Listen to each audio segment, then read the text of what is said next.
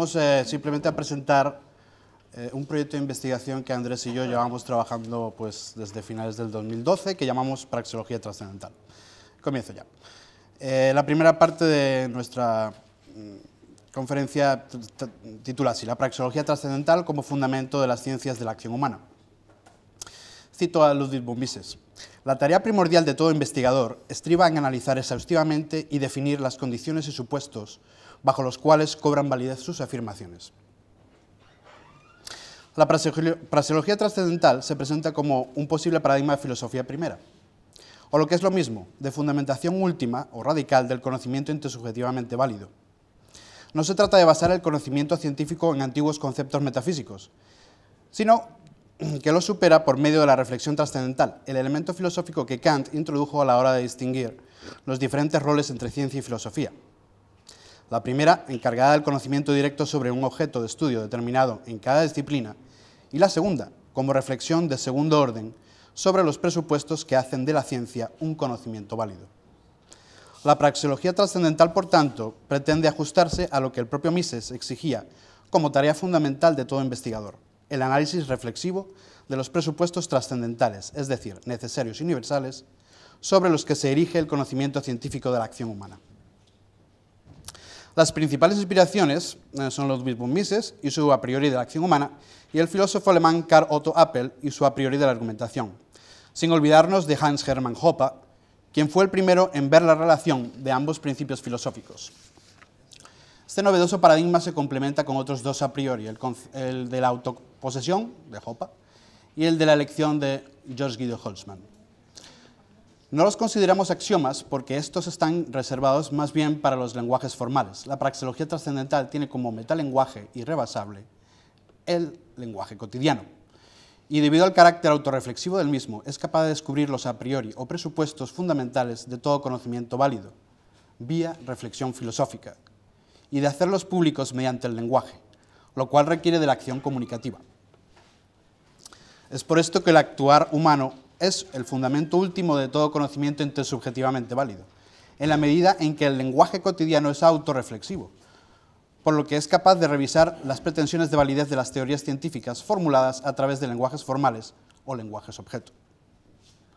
Para que se entienda esto último, la ciencia no es solo un conjunto de hipótesis falsables formuladas a través de sistemas objetivos, de proposiciones más o menos coherentes.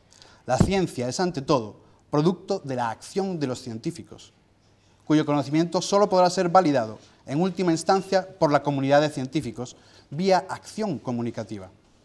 Así, el nivel semántico del sistema de proposiciones de la ciencia requiere de la complementación pragmática, es decir, interpretativa, del lenguaje común para que la ciencia tenga sentido, incluso para los propios investigadores.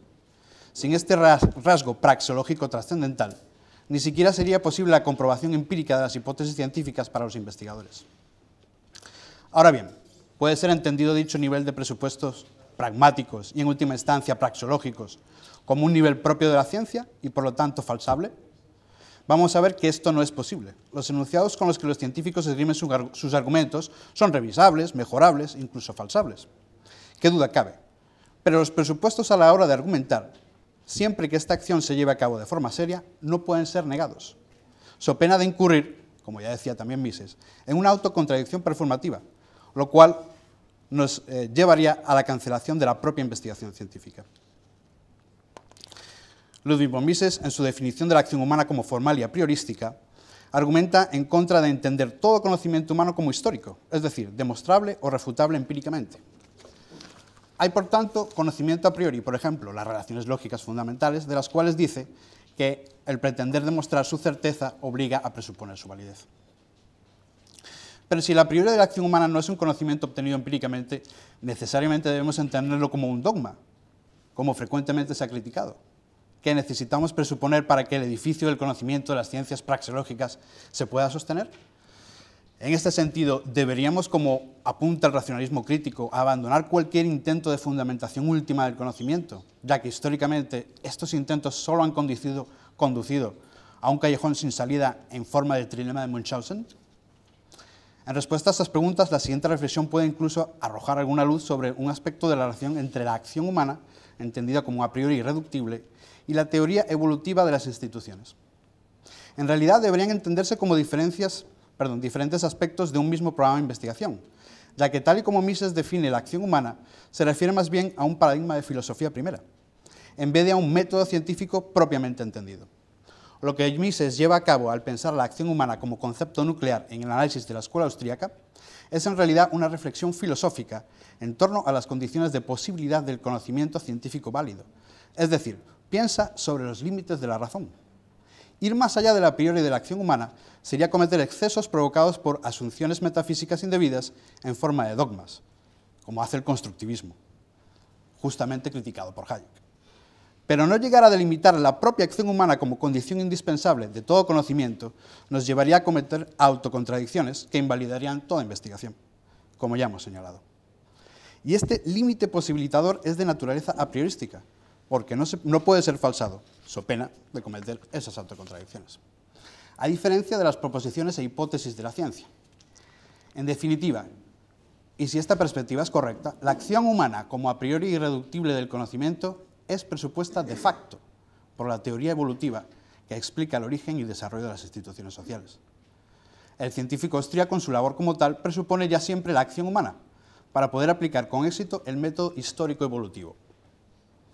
Gracias a esta complementación, el científico austríaco sería plenamente consciente de los propios límites de la razón humana, exigencia tanto de Mises como de Hayek para evitar los excesos indeseables de ese constructivismo, que a fin de cuentas obedece a la absolutización acrítica de la razón, lo que permite justamente el concebir la acción humana como límite racional deseable o sano.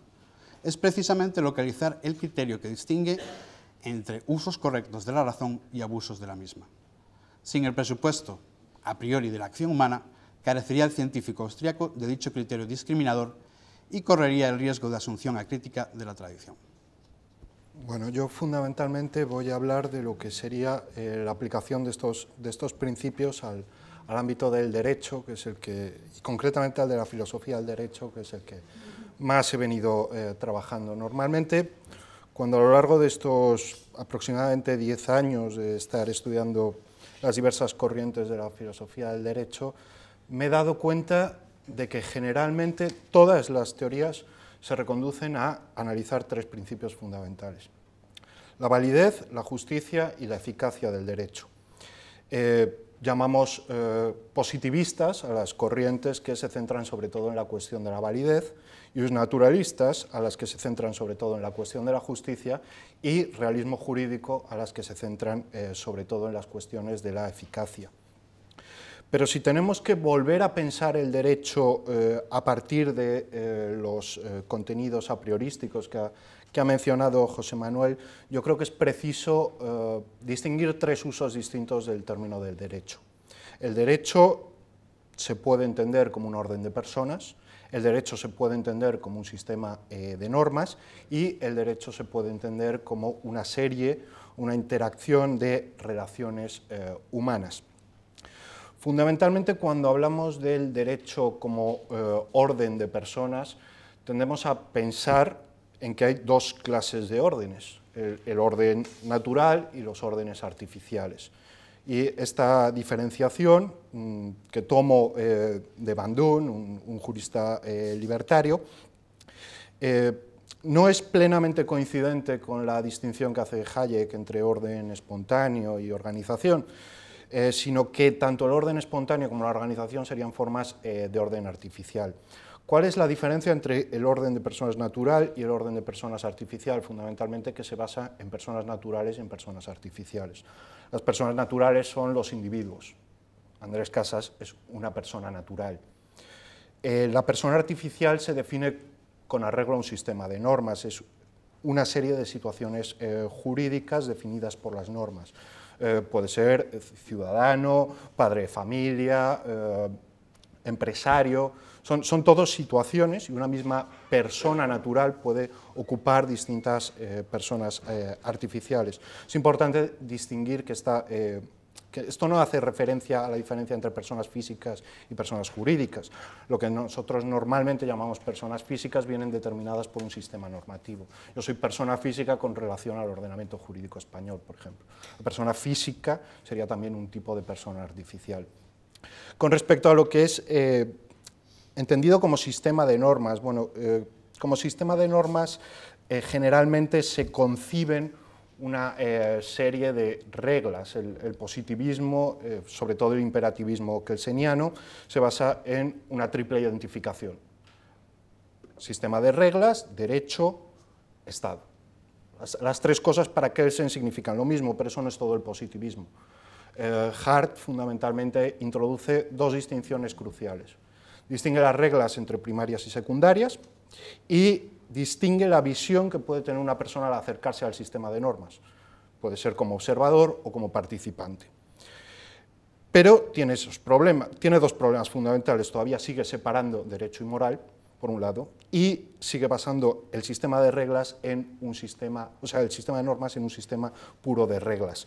Eh, nuestra propuesta fundamentalmente a partir del jurista Robert Alexi, es que es preciso distinguir tres clases de normas jurídicas, las reglas, los principios y, eh, los procedimientos.